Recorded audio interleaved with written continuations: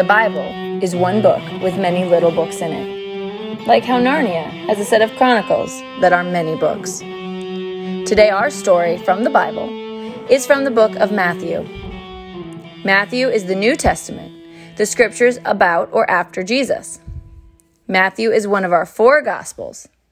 It was written sometime between 80 and 90 AD, which is about 50 to 60 years after Jesus died. Jesus had a lot of disciples. Everywhere he went, people came and listened to him. There are lots of stories of Jesus visiting specific disciples in various cities. However, there were 12 disciples that went with him everywhere he went.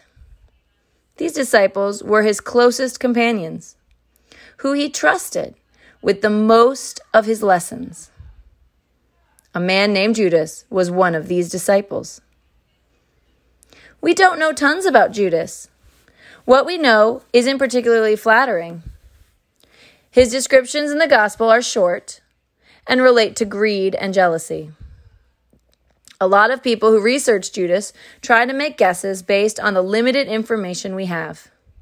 Here is what we know Judas decided to go to the Sanhedrin, who was the high council led by the high priest to judge over the law for the Jewish people and turn Jesus in. He received a payment of 30 pieces of silver.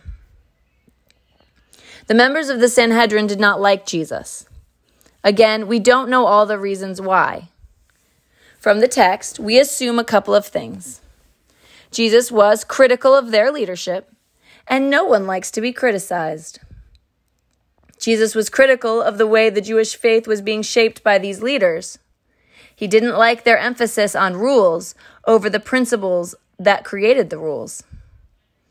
For instance, they thought healing someone who was seriously or critically ill on the Sabbath day was breaking the law, even though the law makes exceptions for life and death needs, including feeding livestock and caring for the ill. There may have been some in the Sanhedrin afraid of losing their power.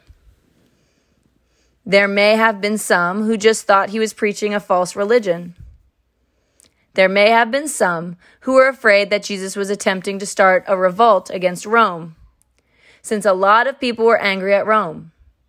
And they may have been afraid of Rome coming in with troops and violently putting down a rebellion.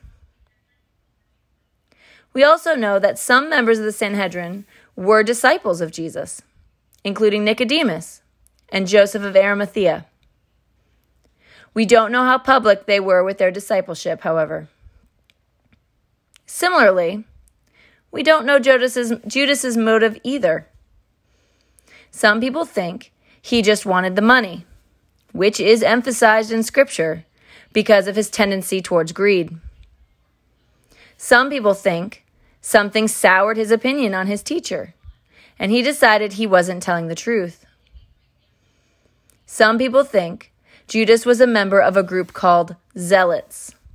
These people, who strongly believed that Rome needed to be kicked out of the Holy Land and that the Jewish people needed to reclaim their kingdom. The Zealots thought the Messiah would be like King David. He would come with an army and bring rebellion and war.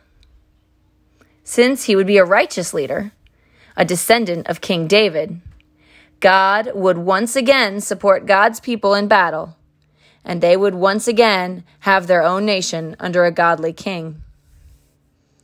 If Judas was a zealot, it is possible that he thought after Palm Sunday's big crowd turnout that if Jesus was arrested, the people would rebel and free Jesus who could transform into their general and overthrow the Romans.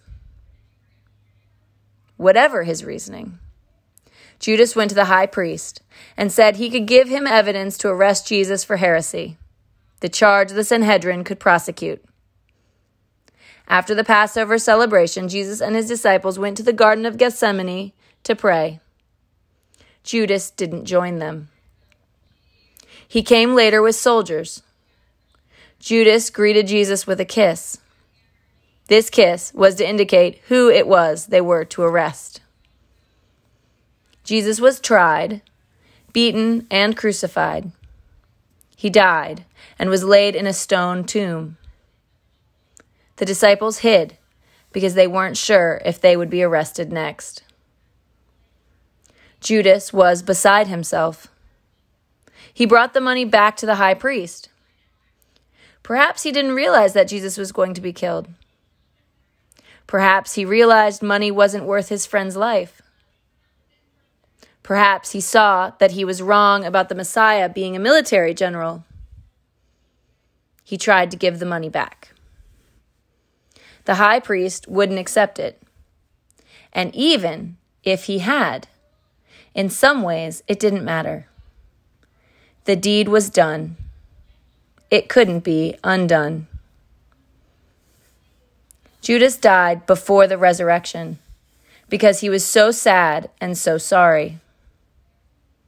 So his story ends with yet another mystery. When Jesus comes back, he forgives his disciples who ran away. He forgives Peter, who denied even knowing him. There is a chance that if Judas was really sorry that he had made the wrong choice, despite his reasoning, Jesus would have forgiven him. Maybe Jesus forgave him anyway because of his remorse. But ultimately, the story of Judas is one of a bad choice and a bad consequence. Some of our choices can't be undone, but God will stay faithful through the consequence.